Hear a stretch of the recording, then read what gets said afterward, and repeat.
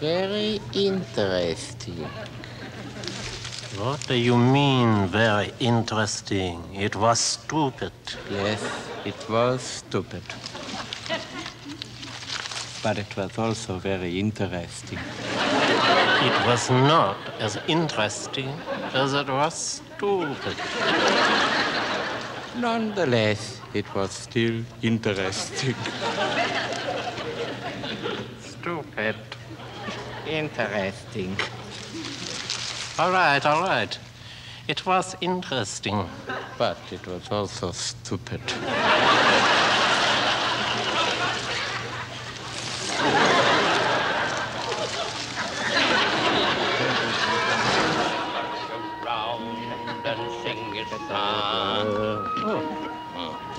Pardon me, uh, young fella, but which one is me?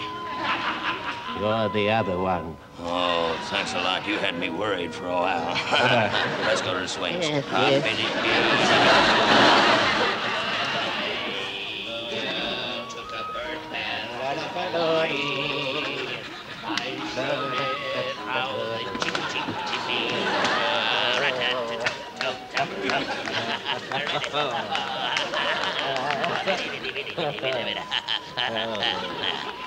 In Iron, Huh? my roommate has a wrinkled prune. You think that's bad? My prune has a wrinkled roommate. Show you my magic walnut. Oh. Oh, what's the matter, my dear? Don't you like me anymore? Ah, you just made an old man very happy.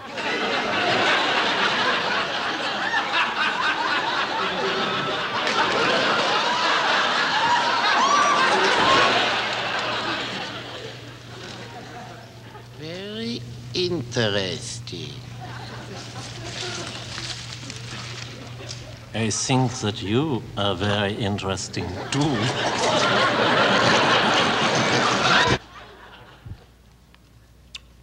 Thanks for the tea, Dan, but it is awfully weak, I'm afraid. Oh, I'm sorry, Peter. Say, how long should the tea be left in the water? Well, let me put it this way the tea in the Boston Harbor is just about ready. I brought you some tea, Peter. Oh, thanks, Alan. Oh.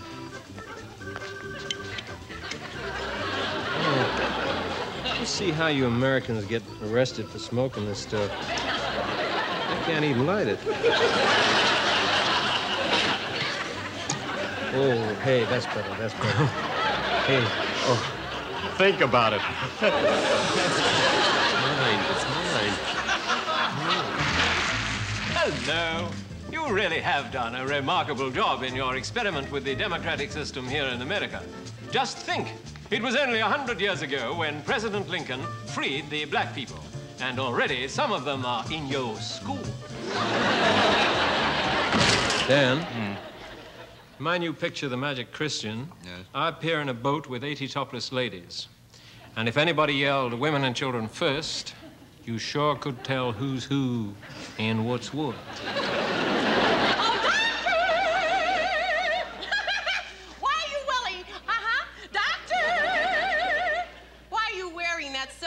reflector on your head? To cover the silly looking hole in my head. oh, mon dieu, black stockings. You know, one thing I've noticed. One thing I've noticed, Peter, you English certainly are proud of your queens. Yes, we've legalized them. How about that, sports fans?